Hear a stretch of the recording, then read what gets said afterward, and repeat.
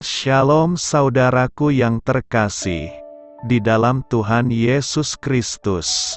Selamat malam, salam sejahtera untuk kita semua, di mana pun saudara-saudara berada. Kiranya damai dan sukacita oleh roh kudus, melimpah dalam hati dan kehidupan saudara semua. Dan semoga saudara semua dalam keadaan sehat selalu. Sebelum kita mendengarkan renungan firman Tuhan, mari sama-sama kita berdoa, Bapa kami dalam kerajaan sorga, Bapa yang baik, ajaib, dan penuh kasih karunia. Bapa yang kami muliakan, di dalam nama Tuhan Yesus Kristus, kami mengucap syukur Tuhan, oleh karena pertolongan-Mu di sepanjang hari ini. Kami boleh dimampukan Tuhan untuk melewati hari ini, untuk melakukan tugas dan tanggung jawab kami, melakukan segala aktivitas kami, dengan pertolongan Tuhan. Terima kasih ya Tuhan, pada saat ini kami kembali akan merenungkan firman-Mu berbicaralah kepada kami, urapi kami, jamah hati kami, supaya kami mengerti akan maksud firman-Mu. Terima kasih Tuhan, dalam nama Tuhan Yesus Kristus, kami berdoa, amin.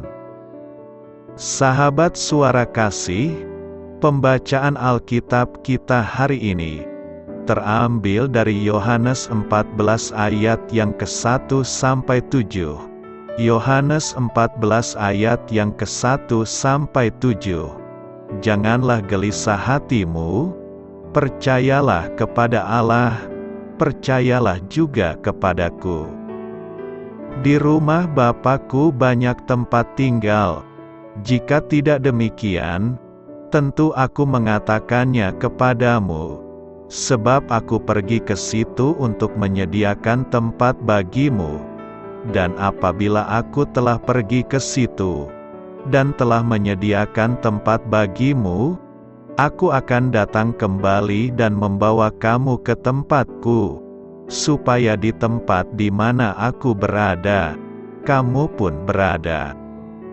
Dan ke mana aku pergi, kamu tahu jalan ke situ Kata Thomas kepadanya, Tuhan, kami tidak tahu ke mana engkau pergi. Jadi bagaimana kami tahu jalan ke situ? Kata Yesus kepadanya, Akulah jalan dan kebenaran dan hidup. Tidak ada seorang pun yang datang kepada Bapa, kalau tidak melalui aku. Sekiranya kamu mengenal aku, Pasti kamu juga mengenal Bapakku. Sekarang ini kamu mengenal dia, dan kamu telah melihat dia. Sahabat suara kasih. Ayat emas renungan kita hari ini adalah Yohanes 14 ayat 6. Kata Yesus kepadanya, Akulah jalan dan kebenaran dan hidup. Tidak ada seorang pun yang datang kepada Bapa kalau tidak melalui aku, judul renungan kita hari ini adalah Percaya kepada Tuhan, ditulis oleh Dev Branon. Sahabat suara kasih, jangan lewat jalan tol. Itulah pesan yang dikirim anak perempuan saya. Pada suatu hari ketika saya hendak pulang kantor. Hari itu, Jalan tol menuju rumah sudah seperti tempat parkir karena kemacetan yang parah. Saya mencoba mencari beberapa jalan alternatif untuk pulang, tetapi setelah mengalami kemacetan parah di mana-mana, akhirnya saya menyerah. Saya memutuskan untuk menunda kepulangan sampai situasi membaik dan akhirnya mengendarai mobil ke arah yang berlawanan untuk menghadiri sebuah kegiatan olahraga yang diikuti oleh cucu perempuan saya, mendapati tidak adanya jalan bagi saya untuk pulang ke rumah. Membuat saya berpikir tentang orang-orang yang mengatakan bahwa semua jalan menuju Allah itu sama dan berujung kepada hubungan kekal dengannya. Ada yang percaya bahwa perbuatan dan perilaku yang baik adalah jalan yang benar. Yang lain meyakini kesalehan agama dan amal ibadah sebagai jalannya, namun mengandalkan jalan-jalan itu hanya akan membawa kita ke jalan buntu. Hanya ada satu jalan yang membawa kita tiba di hadapan Allah yang kekal. Tuhan Yesus menegaskan hal itu ketika Dia berkata, "Akulah jalan dan kebenaran dan hidup. Tidak ada seorang pun yang datang kepada Bapa kalau tidak melalui Aku."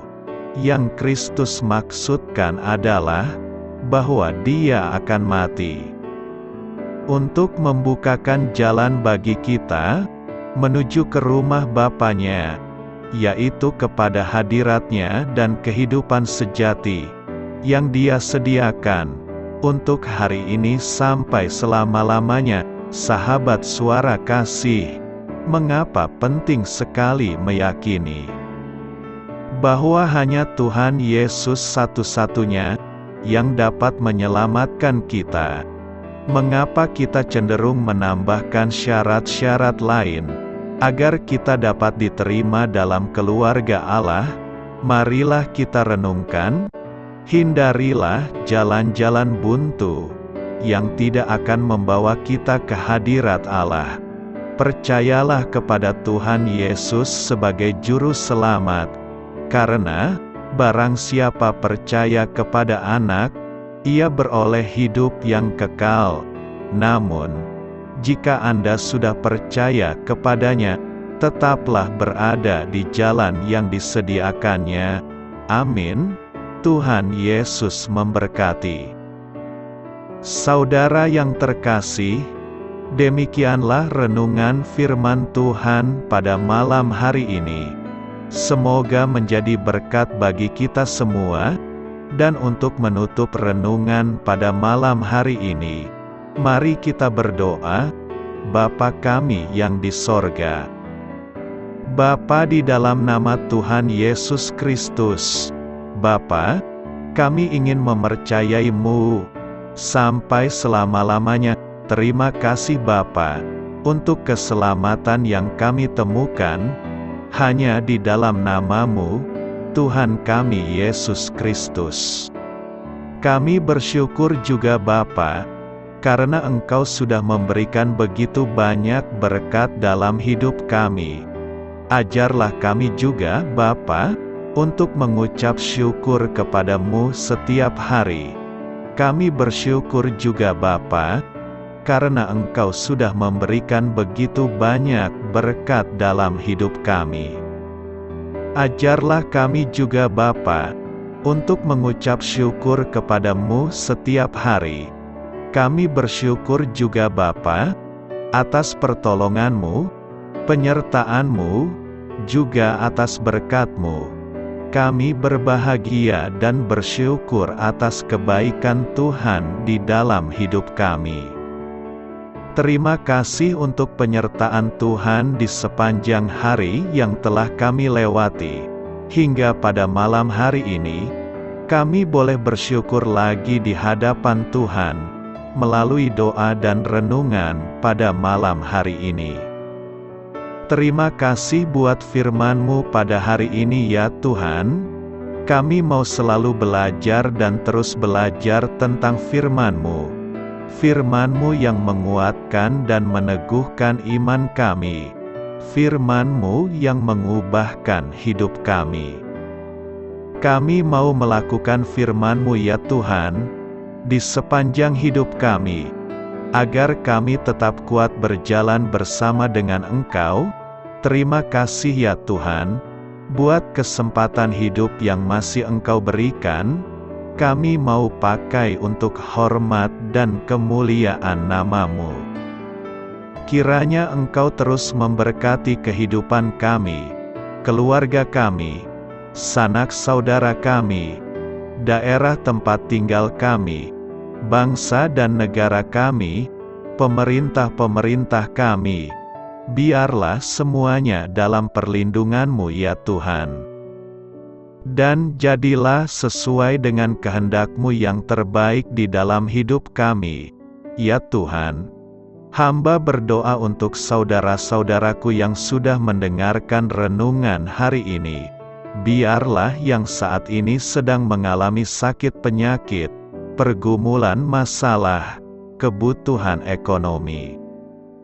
Kiranya Engkau jamah, sembuhkan dan pulihkan, berkati perekonomian mereka, serta berikan jalan keluar di setiap pergumulan masalah yang sedang mereka hadapi. Dan ajarlah kami, ya Tuhan, untuk selalu berharap dan percaya sepenuhnya kepada Tuhan Yesus. Pada malam hari ini, ya Tuhan, kami akan beristirahat dalam tidur kami. Kiranya Engkau sertai dan lindungi kami di sepanjang malam ini sehingga kami boleh bangun besok pagi dengan tubuh yang sehat, kuat, serta diberkati Tuhan. Terima kasih Tuhan. Inilah yang menjadi doa dan permohonan kami. Dalam nama Tuhan Yesus, kami berdoa. Amin.